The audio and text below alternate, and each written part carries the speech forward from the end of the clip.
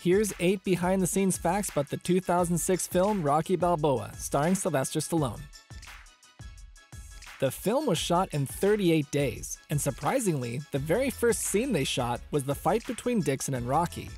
The reason is because Stallone had undergone intense training for six months to get his body into shape for the fight. And since he was also directing the movie, it would have been impossible for him to maintain his physique if they had filmed the fight later on in the schedule. The final fight was filmed first, but Stallone intentionally saved Rocky's sprint up the art museum steps for last, because he knew it would be an emotional experience for him to shoot, because of the iconic nature of the scene. And since this was almost 10 years before the Creed series came around, Stallone felt that saving this scene for last was the perfect way for him to say goodbye to the character. It wouldn't be a Rocky movie without a training montage, and for Rocky Balboa, all of the training scenes in the gym had to be shot in one day over the course of 17 hours. Filming a training montage for that long meant that Stallone had to do a lot of reps. So many that he said he couldn't walk the next day. Even though Adrian was dead in this movie, she was actually going to be alive in the first few drafts of the script. In the beginning, the story revolved around Rocky running a local gym, and his son would be in the military.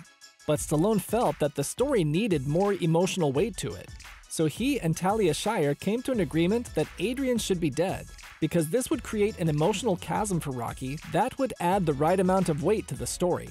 And Shire made a public statement supporting the choice to kill off her character, in order to avoid any controversy about the decision. In Rocky V, Stallone cast his real son Sage to play Rocky Jr., and he considered having Sage reprise the role again for Rocky Balboa. But ultimately, Stallone decided against it, because he feared people would read too much into Rocky and Robert's estranged relationship, thinking that it was a reflection of Sage and Stallone's real life. Besides Rocky, several other characters and their original actors returned to be in Rocky Balboa, like Burt Young as Paulie, Tony Burton as Duke, and Pedro Lovell as Spider Rico.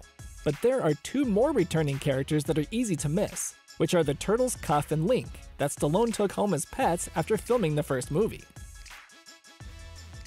During pre-production, the filmmakers had constant problems trying to find a good location to shoot the big fight, but they eventually came up with the idea to get permission to piggyback off of an upcoming HBO pay-per-view match at the Mandalay Resort and Casino in Las Vegas, which would give them access to everything they needed to create a fight night atmosphere, such as a real press conference setup and an arena already packed with thousands of cheering fans. And the funny thing is that the filmmakers said Rocky's fight got a bigger reaction out of the crowd than the real fight.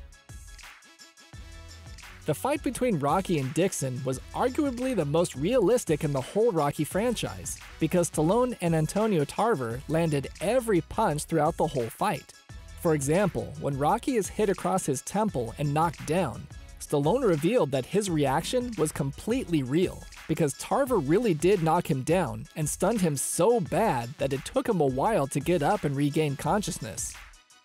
Click a video on the screen for more great content right here on Fun Fact Films.